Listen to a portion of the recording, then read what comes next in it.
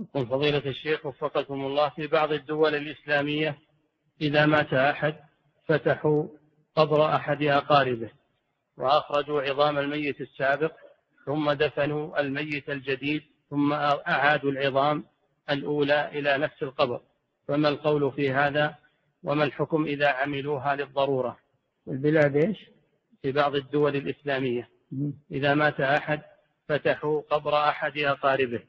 وأخرجوا عظام الميت السابق ثم دفنوا الميت الجديد ثم أعادوا العظام للقبر. فما القول في هذا؟ وما الحكم إذا كان هذا العمل قد دعت له الضرورة؟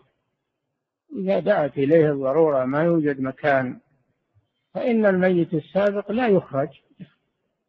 لا يخرج. تدفع العظام في في ناحية القبر ويدفن الميت الجديد بجانبها ولا تخرج العظام.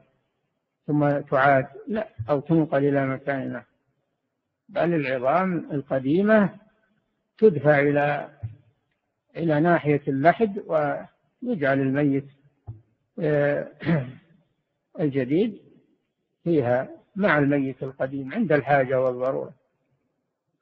بعضهم يجعل حجرة يجعل حجرة تحت الأرض أو فوق الأرض له ولأقاربه. فيأتون بالميت وينحون العظام القديمة شيئا فشيئا ثم يضعون الميت. فإذا جاء ميت جديد فعلوا هذا وهكذا نعم. هذا عند الضرورة. نعم. الله تعالى أعلم وصلى الله وسلم على نبينا محمد وعلى آله